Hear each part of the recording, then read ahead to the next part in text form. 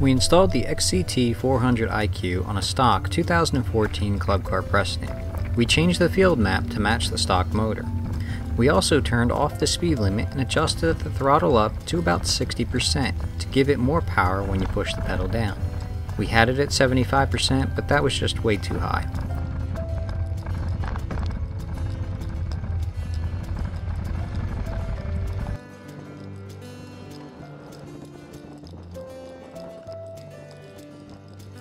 With these settings, we were able to get an average speed of about 20 to 21 miles an hour, with a top speed registering at 23 miles an hour.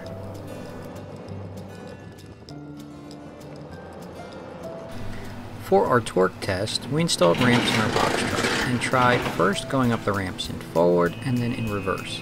The cart had no issues climbing these hills.